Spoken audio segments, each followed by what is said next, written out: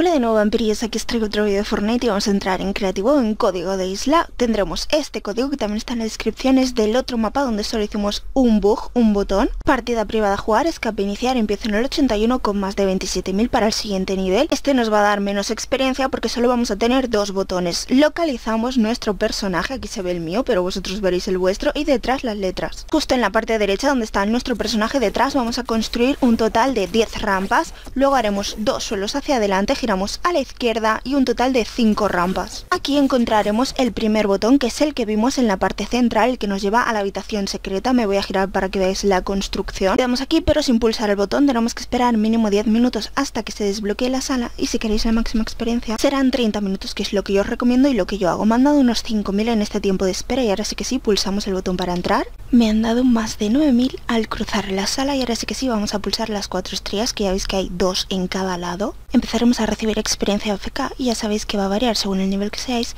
los box hechos en 24 horas y el tiempo que esperéis en el inicio. Yo siempre os recomiendo 30 minutos, que es lo que espero yo para conseguir la máxima experiencia y además en este mapa ya sabéis que solo tenemos dos botones, es un mapa nuevo, pues entonces nos dará un poquito menos. Volvemos a la posición del primer botón y ahora construiremos rampas hacia abajo. Construiremos una, dos, tres, cuatro, ahora suelos hacia la derecha. Uno, dos, tres, 4, izquierda, rampas hacia abajo de nuevo, 1, 2, 3, 4 y derecha, suelos, 1, 2, 3, 4, son 4, 4, 4 y 4 y aquí en la derecha tendremos el siguiente botón, me giro para que veáis la estructura, ahora pulsamos el botón y veremos un gran aumento en la experiencia y simplemente nos quedaremos AFK porque por ahora ya no hay más botones en este mapa. Es como sube de rápido este segundo botón que es el nuevo, ahora lo pondré desde la experiencia y mirad cómo va subiendo los cuadraditos de experiencia súper rápido. Llevo más de 200.000 y os recuerdo cada 15 minutos hacer un gesto. Igualmente ha pasado lo que pasa siempre con los mapas nuevos nivel 85 a la mitad de nivel y es que se ha parado automáticamente aunque hagamos el gesto. Si esto pasa simplemente nos movemos o hacemos el gesto y entonces empezará de nuevo la experiencia. Lo malo de los mapas nuevos es que cuando llega a un límite pues se va parando y esto me acaba de pasar ya dos veces. Más de nivel 86 ya se me va acumulando de nuevo, llevo más de 400.000 reunidos,